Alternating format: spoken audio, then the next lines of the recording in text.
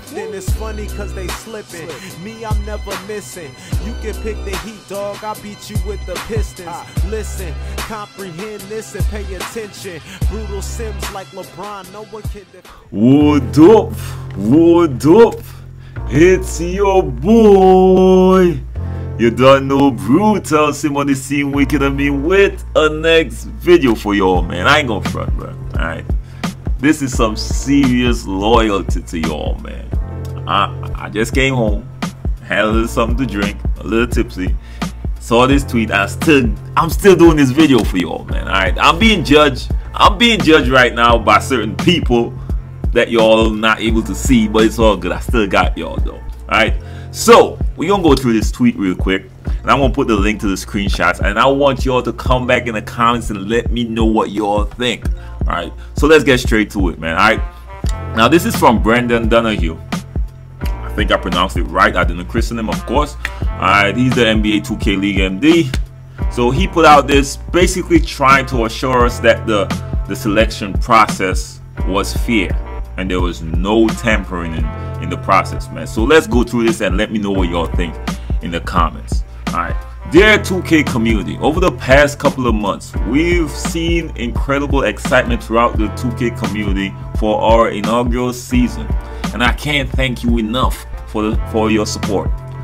While there has been so much momentum recently, there has been some rumors and speculations out there, and I want to take the time to address these concerns to assure you that the integrity of this league is of utmost importance. One sec, I need a sip, man. I ain't gonna front some good stuff, man. Y'all should try some. Anyway, anyways, let's continue. All right. Um, first, we went to great lengths to develop a fair evaluation process to give us the best chance of identifying the top 102 players in the world who will best who will be the first NBA 2K League players.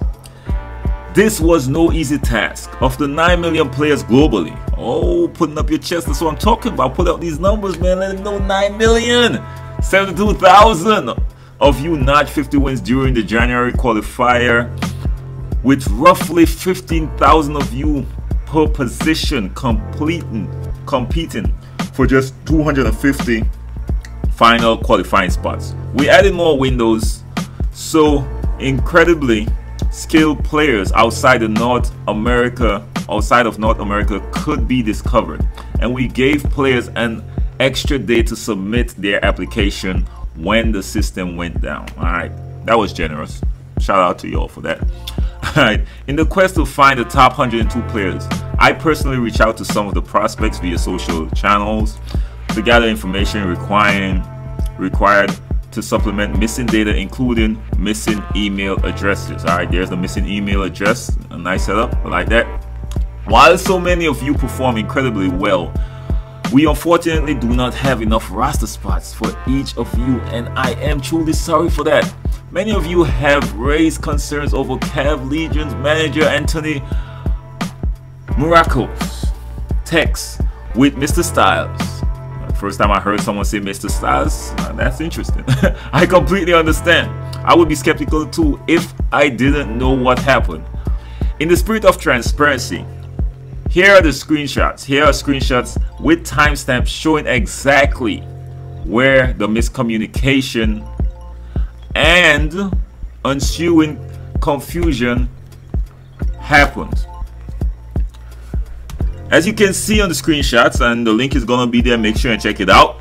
We notify our teams at 11.52 a.m. on Friday via our internal NBA 2K League Discord that all 250 players had been emailed. This prompts several team representatives to repost the confirmation to their own feeds. Around that time, Anthony followed up with a text to our lead player evaluator concerning that concerned that Mr. Styles hadn't made the pool. As you can see in the screenshots, Mr. Styles already was already in the 250 while Anthony had no input or effect on the final 250. His conversation time stamped between 11:58 a.m. and 12:15 p.m.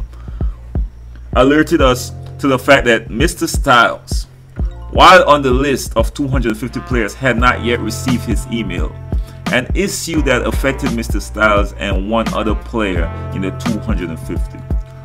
We then worked to fix the issue and notified the affected players by 4 p.m. that same day. Fair enough. Now I got conspiracy to put out there, man. I probably shouldn't. But who is to say there was 250? They put out two extra, but who's to say there was 250?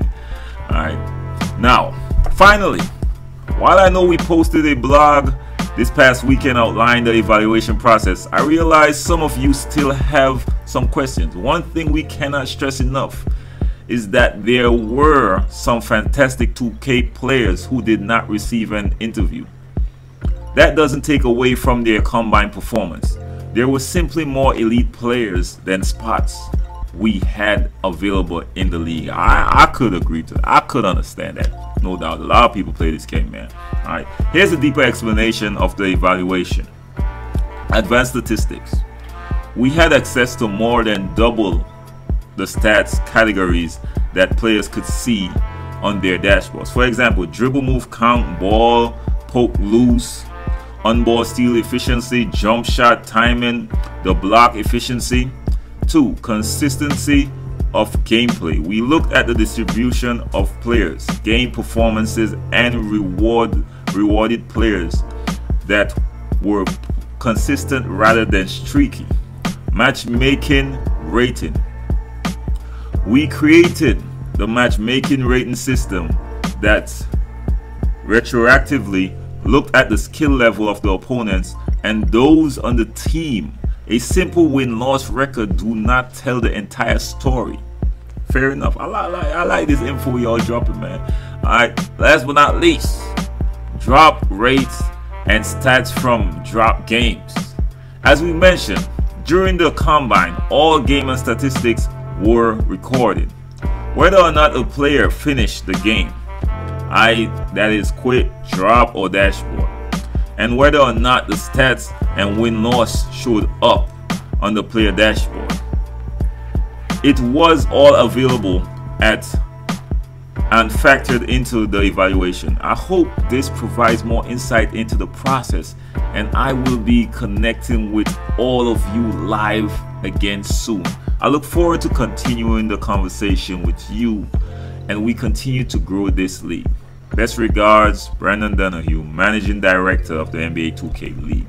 Right? And that's about it. Now let, us look. These are the um. I'm gonna put the link, of course, to his Twitter. Make sure and check it out. It's gonna be at the top of his Twitter.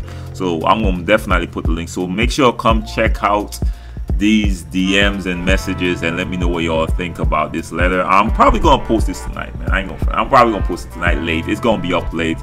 Um, if you're here in the morning, still, you know how it is, man. So make sure check it out. Make sure and like the video. I ain't gonna front, man. It's late. I'm doing this video for y'all. I just got done uploading the video. I'm gonna do this and put this out for y'all because I need everyone to keep up to date on what's going on, man. You know that's what I'm about. So you already know, man. It's your boy Sim. Let me know what y'all think about this situation. Let me know what y'all think about this letter. Is this believable? Do y'all believe what he's saying? Look at the timestamps, bro. Alright, I'm not gonna check out the timestamps right now. I'm a little bit too tipsy that for that to be quite honest. I'm sorry my words. It is what it is. Alright, it's not that important, but it is entertaining from this from this standpoint for me. Alright, so let me know what y'all think in the comments. Your boy Sim, your first time to my channel, like the video, share the video, hit your boy subscribe if it's not your first time. Like the video, share the video. You never know who's gonna be informed always gonna help. Your boy still want love respect. Bless up.